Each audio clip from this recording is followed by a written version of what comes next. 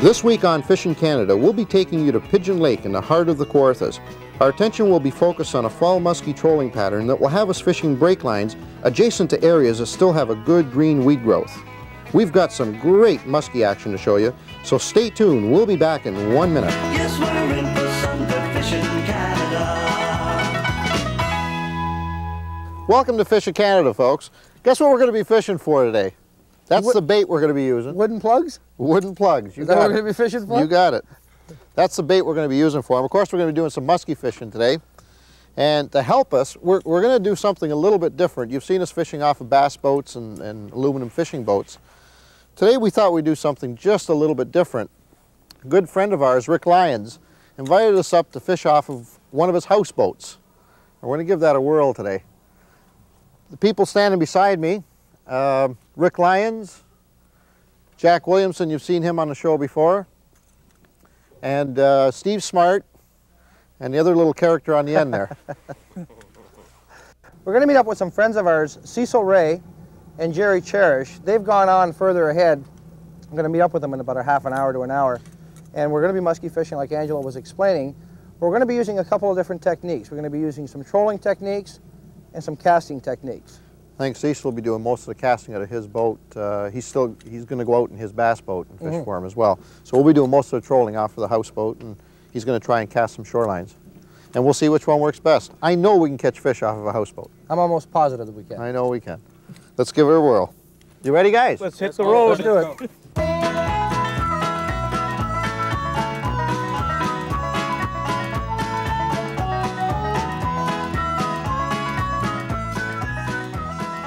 It was a chilly November morning on Pigeon Lake in the Kawarthas, and the overcast conditions told us that it was a perfect day for the serious muskie fishermen.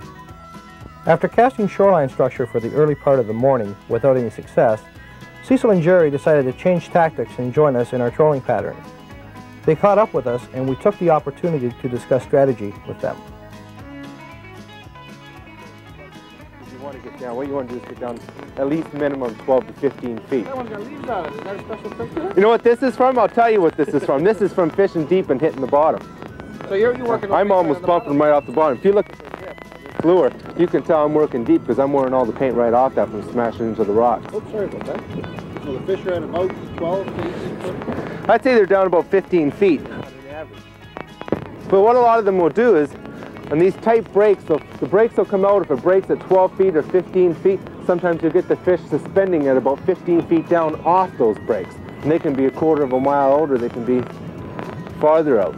But in the fall, like now, when you look at the shoreline, because it's getting cold and the fish are starting to bunch up, or the walleyes are starting to bunch up, the muskies are going to start moving shallower and holding those breaks tight. Whereas if- and they're going to be feeding on those walleyes. Now, if I was fishing this in the summertime, I might move way out and fish open water where they're suspended. But for now we're going to be But in but this time year, it's going to just act like a funnel. All those tight breaks, they're just going to suck every muskie in the lake onto those breaks. Cecil Ray has been a member of Muskies Canada since its inception, so we decided to pay close attention to what he said. And with our plugs hitting bottom, it wasn't long before we connected with a scrappy fall muskie. Last week I was fishing here and I got into a 25 pounder. Right off this point? Same place, same place. There's one. There's one now.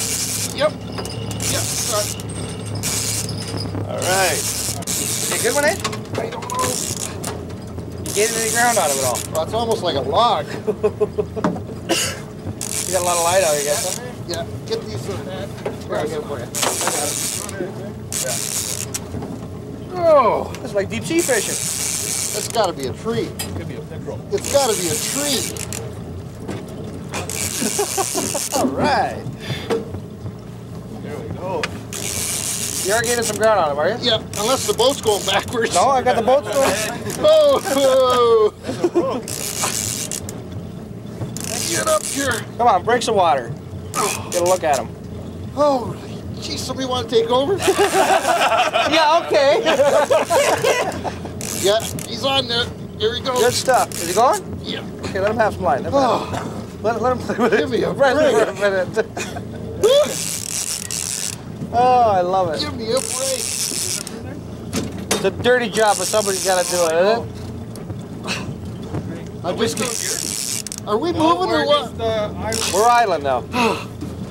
Well, I'm getting practice up for those sharks we're gonna go. Woo. Oh. Get up here. You getting any ground out of it all? I don't know. Are we moving? No. I hope it's not a tree, guys. Here it is, right there. It's a nice fish. It's a muskie. Come on, hold it. Boy, you must have. There it goes. There Oh, You must have had a lot of light out there. there. Whoa, look at that. You got that hook set? Yeah, I think so. Woo. It's not as big as I thought, but I'm You, you, you, you must have got it right on the bottom. I tell you what. You want him in the boat or just release him? Oh, we'll release him at the back there, Jack. I don't want to. Look at that. If we can release him. He, may, he might be pretty tired. Here, Jack, give me that net. and I'll take him from here. What, do you want to just do it right in the back here? With the pliers? Instead of bringing them in? Yeah, it might be a good idea. We'll just, yeah. Because he looks pretty tired. Look at that Oh. fish. Here, I'll take the net out Well, of I'll your tell hand. you. I wouldn't want to get one much bigger than that. I don't think I can handle him today. Look at that. That's a pretty good fish. Oops. It's okay, Jack. There he is. Boy, he's well hooked anyway. Is he ever? Whoa. Whoa, easy. He's not ready yet. He's not that tired.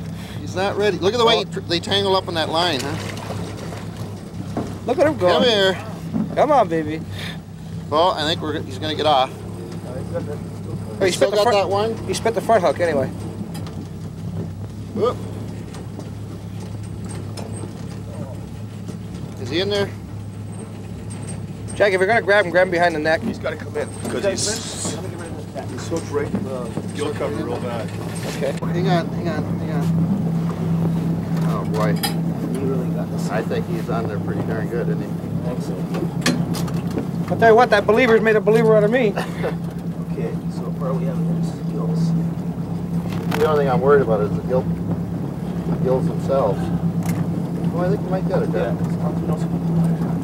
Just that little bit right down there. There we Excellent. go. There we go. Excellent. Little fish. Where would that go? Oh, eight or nine? Eight or nine, maybe? Keeper fish, anyways, over 28 inches. Yeah. I think he'll make it. Little Okay. battle wound on him right there. He's fighting, is he? Yeah, look at that. That's cool. There's something else. That's a nice fish. Okay. So we came for. Oh, oh, Well, uh, guys, I guess just, that's the first fish. we right just there. lost. We just lost a quarter. Remember that little bet we had? The first fish, we I wasn't gonna say anything, but That was a quarter each. seeing as you brought it up, Okay, he's up what about a buck and a half, a buck seventy-five. I seventy-five. think so. Good. Let's All go right, put her here. Let's do it Right again. on. Let's do it again. Although it was the first time we've tried trolling for muskie from a boat as large as this, it won't be our last. The rear deck area of the boat was large enough to accommodate four fishermen and a film crew, and even with that many lines off the back of the same boat, there were none of the foul-ups that we'd expected. And you know, when it got cold and miserable out there, there was that hot cup of coffee waiting inside for you.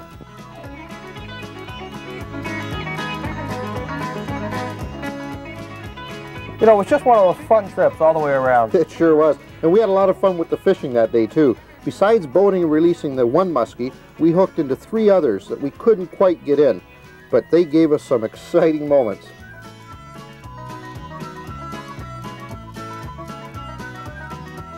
While heading back to the dock, we also found Cecil and Jerry again, just in time to watch them boat a good-sized muskie. Is that a muskie? Well, I guess they can't hear us. Who's got it? Uh, Cease or Jerry? It's like Jerry. Jerry's got it. Yeah, Yeah, he's got the he's net. the Yeah. net. Yeah. All right. All We should get the boat over there a little Yeah, closer. see if have we a get bit. around the other side of them. They must have been casting that hump out there. Yeah. Yeah, just That off looks- that red marker. That looks like a nice fish, too. Forever. Yeah, oh, there it is, a muskie. Yeah. Yeah. Look at that. All right. Excellent. Way to go, guys. go. Good catch, All right. Good work.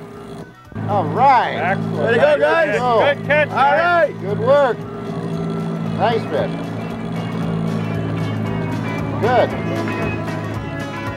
Good.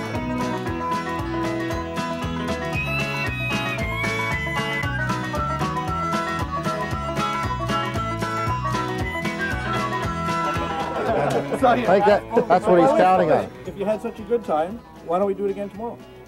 You don't have to twist my arm. We're on? Guys, I'll tell you what, if that's the case, I'm leaving my bass boat at home and I'm coming I out think you, this. ju- I think you just converted him. We'll be here waiting. Great. Let's do it again tomorrow. Well, why don't we? Stay tuned for more Fish'n Canada. Welcome to day two of Fish'n Canada on the houseboat.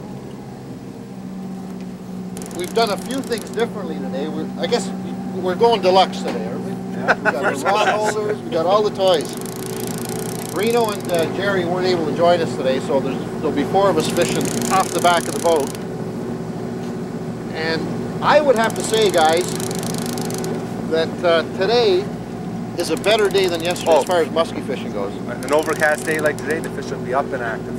They should be. You'll notice Cecil is on the boat with us today. You'll remember he was out on his bass boat yesterday when we were filming because he wasn't quite convinced that you could catch muskie off the back of a houseboat. But I You did? I couldn't believe you it. left the boat at home today. oh, come on off there. Oh, there we go. It's off. Oh, Let, and let's check that line because Yeah. you might have uh, a nick in there you go. Oh, looks good, He's Sheriff. all right. In addition to occasionally checking your line for nicks, sharpening your hooks regularly is a must when tangling with these toothy predators. Once your gear is ready, finding the right pattern will greatly increase your odds of boating a fall muskie. Now, there's our shoreline on our right side here. What we're doing is we're fishing a shelf. It's a flat up to the shoreline. We're talking about eight, nine or eight feet. And we we got a drop off. Right now we're trying to stay on the contour of a 12 foot drop off. Hey, you got it. Oh yeah. All right. All right. Right off the shelf, just like you said. eh? Remember? You want reverse? No, I got a fish. Whoa! You know what that is? Whoa! Hey, All right right. off that shelf. All right. Where the green oh, look at him go. Somebody grab that other rod over there.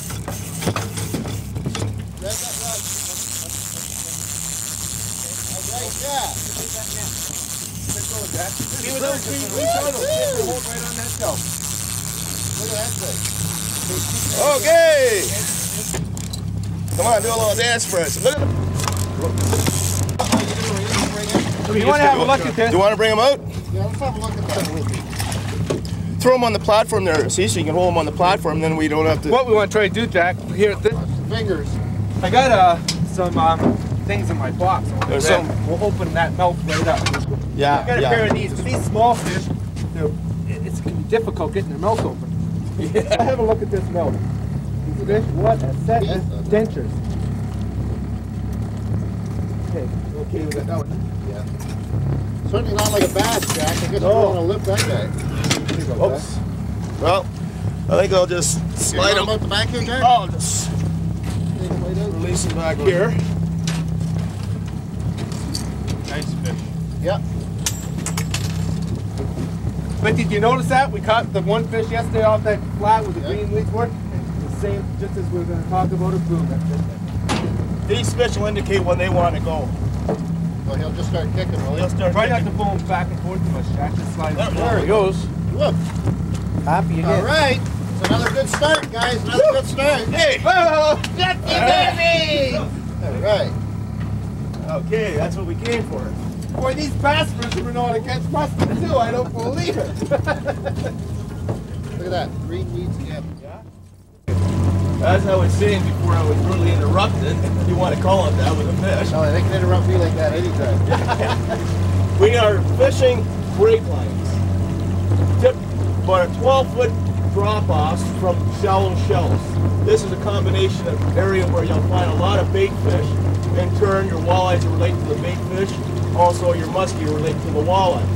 What we're doing, if we can find green weed on these flats and these drop offs, your chances are a lot better of getting into some good fish. That's what we're looking for, cabbage weed. This is curly cabbage, by the way. He's starting to die, though.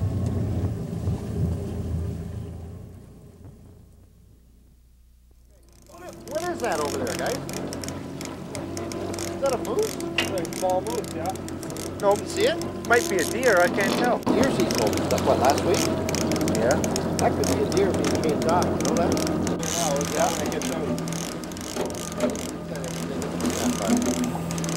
Yeah, white tail. Yeah. Yeah, there it is. Yeah, it's a deer. Look at that See guy. him? Yeah, Oh, yeah. Look at the tail on it. Yeah, Shows up pretty good, doesn't it? That tail. like a target. That's one thing about fall fishing, though. You get to see uh, all kinds of wildlife out there. It's peaceful too, isn't it? Sure is. Look at her blend right into the brush there. Yeah, just totally disappeared. Stay tuned for more Fish'n Canada.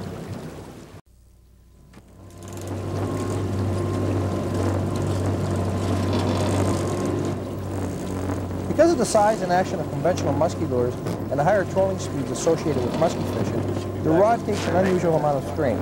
This is no place for a lightweight rod, so make sure that your equipment is heavy enough to take the punishment.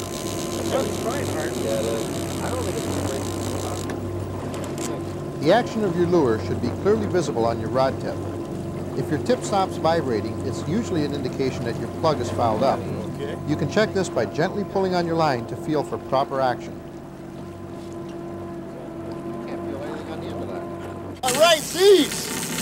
Bring him on home. All right. What do you think this shoreline, Ian? I He's doing the it. trick. I love it. Whoa, I love baby! it. Look at him go. Holy cow.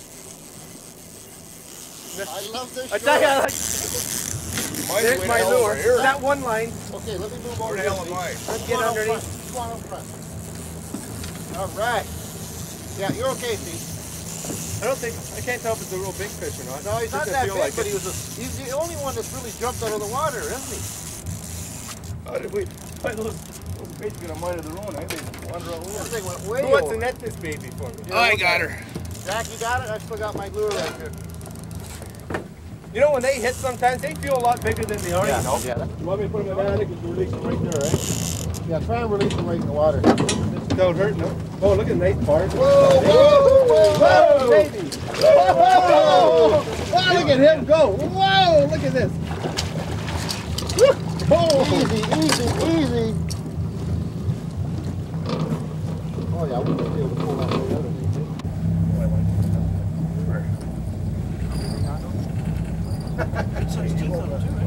there. Ready? Here we go. All right. All right. I think you're just getting back here. Okay, sis. I'm ready for the water now, eh? Good work. Well, that's three. Oh, baby. I think we can do that again, can we? I think we found the shoreline. Yeah, she's hot.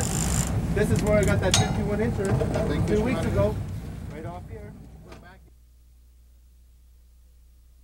running on the, uh, the north shore of Pigeon Lake, skirting a shelf um, in about 18 feet of water, and we're cruising at approximately uh, 1700 RPM, and that's that's been our best speed all day for picking up muskie.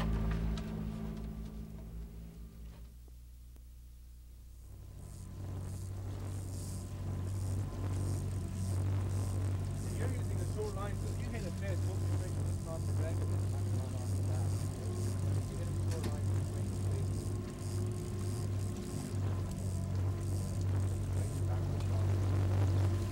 All right. Holy! I don't believe it. Hang on, Jack. Hang on to him. Hang on to him. Whoa! That's got to be a nice fish, guys. That's got to be a nice fish, guys. Uh, It's okay. It's okay. not bad. Look at that. All right.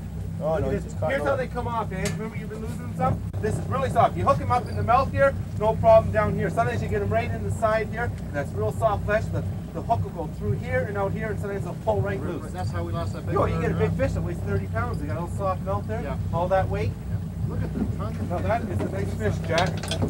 Nice fresh looking fish. Look at the nice How fish. big would that be, Steve? Oh, I don't know, 12 pounds or more. Oh, Right, it's 12. fish. Before 12, I think. 12, 15. Nice, healthy looking fish. Let's see how she goes in the water. Get. She's not bleeding.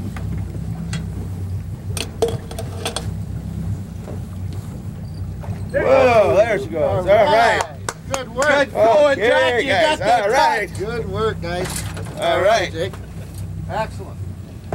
Well, let's get back One in more there. time, guys. One more time. Oh, I like this. One more Hey, time. look at the time. On today's Conservation Corner, we're going to show you how to properly live release a muskie. Because trophy muskie fishing is one of the most popular types of fishing in any area at which they are found, these prize fighters are under constant fishing pressure. Here at Fish'n Canada, we feel that it's important to give any muskie that you're not going to hang on your wall another chance to fight. Whenever possible, release muskie beside the boat in the water. If hooks are deeply embedded, just cut the hook off. Eventually the fish's own acid will dissolve it. Always exercise caution when removing hooks from one of these freshwater barracudas. The needle-like teeth of a muskie and the sharp treble hooks make a potent recipe for disaster if you're not very careful.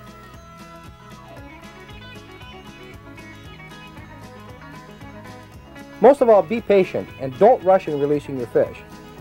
After his fight to the boat, a muskie needs time to stabilize the large amount of lactic acid he has built up in his muscles.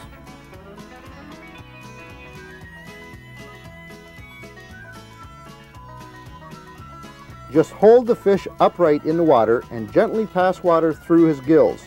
He'll tell you when he's ready to go.